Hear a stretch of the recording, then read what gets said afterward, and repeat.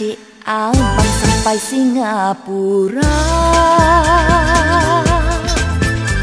Dayung mendayung sampai ke Singapura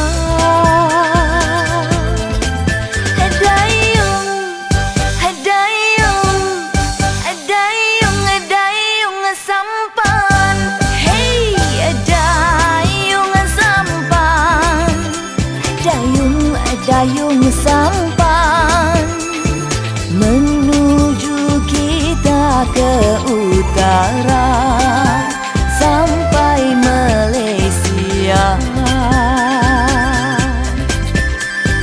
Sampai Malaysia.